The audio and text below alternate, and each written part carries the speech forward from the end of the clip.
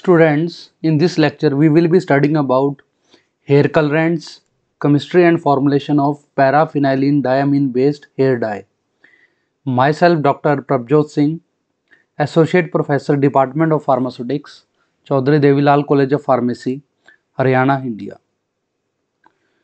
So hair dye are preparations used to impart color to the hair. Hair colorants are widely used by both genders to alter their natural hair color by removing some of the existing color and or adding a new color. Hair dyes add color to the hair which can be lighter or darker depending on the type of hair coloring product used. So students hair dye वो preparations होती हैं जो colours को hairs को colour impart करने के लिए use होती हैं कलर मेल्स भी लगाते हैं फीमेल्स भी लगाते हैं और ये जो कलर्स होते हैं, ये हेयर को डार्क भी बना सकता है और लाइट भी बना सकता है। So all this come in the category of hair colourants और hair dyes so next is the categorisation of hair dyes hair colouring products can be categorise based on the presence और absence of the chemical reaction known as oxidation involve in the hair colouring process So basically there are two types. One is non-oxidative products. These include temporary dyes and semi-permanent dyes. And second are the oxidative products. These include demi-permanent dyes, permanent dyes and hair bleaches. An additional product type is known as progressive hair dyes which are permanent but not oxidative. तो students दो category main है and non oxidative products so now we will go into types of hair colorants available in the market number one are the temporary hair dyes these adhere to the outside of hair fibers by weak chemical bonds therefore are washed out by first shampooing तो ये क्या है कि एक बार लगा लिया एक कुछ टाइम एक दिन के लिए और जैसे शैम्पू करेंगे आप तो ये साथ ही निकल जाएगी बालों में से so these are therefore called as temporary hair dyes this is a typical formulation for temporary colour colouring lotion so it mainly contains F D and C uh, dyes blue violet orange yellow so these are all the temporary colors not the permanent one second are the semi permanent dyes these adhere to outside of hair fibers and partially penetrate the cuticle layers making the hair dye longer lasting. These can last about 7 to 15 shampoos. Therefore these are called as semi permanent dyes. Next, uh, this is uh, formula for some common nitrophenylene diamine semi-permanent colorants and some uh, common amino anthraquinone semi-permanent colorant. So these are types of dyes that are used. So to get different colors, we use different uh, chemicals or dyes and we can also use a combination of these dyes to give a specific color. Next are the demi-permanent hair dyes. These penetrate the cuticle and cortex. They contain an oxidising agent have a more alkaline P H and are therefore significantly longer lasting than the previous dyes so this category comes into the oxidative dyes however they are still not completely permanent and can not lighten the original hair colour तो इनमें जो एक कमी है कि ये सिर्फ़ colour को चेंज कर सकते हैं या बढ़ा, उसको बढ़ा सकते हैं। ये उसको लाइट नहीं कर सकते। They can't lighten the colour and uh, the last one are the permanent hair dyes they also penetrate both the cuticle and cortex they contain a higher amount of oxidizing agents and have a highly alkaline pH compared to demi-permanent dyes which makes them permanent. They can be used to change the original hair color into two shades either lightening it or darkening. तो jo permanent dyes hoti hain un wo dono kaam kar sakti hain they can be used to lighten the hair or Uh, making them darker. Due to their composition, they are most damaging chemicals among the hair coloring product. Permanent hair coloring can also be achieved without oxidizing agents. These products imply metal ions and are called progressive hair dyes. Lead acetate is used as a metal ion in these dyes. So these are the another type. Progressive hair dyes, they are non-oxidative Uh, they, then next are the hair bleaches. They are used to remove the hair color through a chemical reaction. They can be used alone or in combination with permanent hair colors. So if we want to lighten the hair then we have to ha use hair bleaches. Uh, now we will dis discuss about the oxidizing dyes or paraphenylene diamine or permanent dyes. So these dyes are made of two components one component is the colour colourless dye intermediates such as paraphenylene diamine paratoluene diamine and paraaminophenols and couplers such as resorcinol and meta aminophenols in a highly alkaline formulation so दो part में formulation आती है। एक component तो क्या होता है? जो टिंट होता है, जो डाई होती है। उसके अंदर ये पैराफिनाइल डायमिन का कंपोनेंट होता है और कपलर होता है साथ, जैसे रिसोर्सिनॉल। सेकेंड कंपोनेंट जो होता है, उसके अंदर क्या होता है? Second component contains the oxidising agent otherwise known as the developer और activator the other component contains hydrogen peroxide so oxidising agent use is hydrogen peroxide इसके अलावा और भी कई ऑक्सीडाइजर यूज़ हो सकते हैं, पर mostly hydrogen peroxide in a maximum concentration of 6% can be used. These products are mixed right before application which generates a chemical reaction. The alkaline agent swells the hair cuticle and thus helps the penetration of relatively small dye intermediates into the cortex.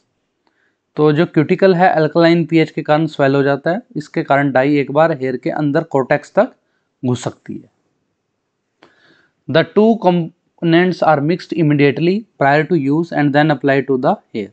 So as we can see this is a uh, formulation by L'Oreal. Uh, one is known as a tint, another one is known as the oxidizer, activator or developer. So these both formulations are mixed in 1 ratio 1 as written on the uh, formulation itself mix 1 ratio 1. So these two are mixed prior to the prior applying to the air hair. In addition, it also destabilizes hydrogen peroxide to liberate oxygen. So activator plays another role. It destabilizes hydrogen peroxide to liberate oxygen.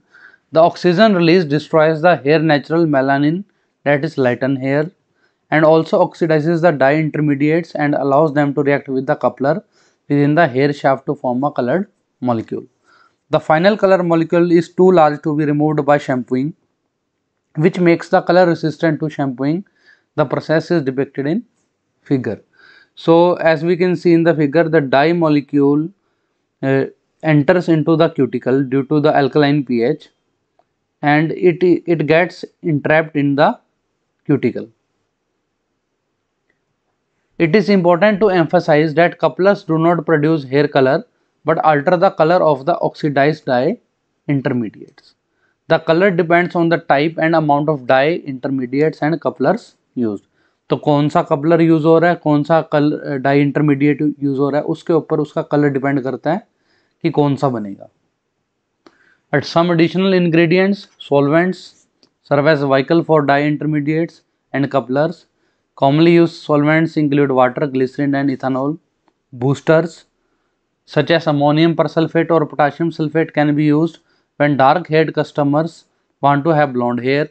Hydrogen peroxide is not able to remove melanin completely by itself. Booster enhance its effectiveness. So lighten करने के लिए hair को boosters use होते हैं. Conditioner such as quaternary compounds, proteins and emollients they are used to make the hair manageable surfactants they help in wetting of the hair during coloring removing the dye formulation from the hair after application as well as help stabilize the formulation example include anionic amphoteric and non-ionic surfactants. Buffers, they stabilize the formulation and help neutralize the polymer if needed. Thickeners build viscosity into the formulations and keep the formulation at the site of application. Antioxidants, preservatives and chelating agents to contribute to the stability of the formulation. So these are all the additional ingredients used in making the uh, hair dye, permanent hair dye. Now we will see what is the chemistry of paraphenylene diamine based hair dyes.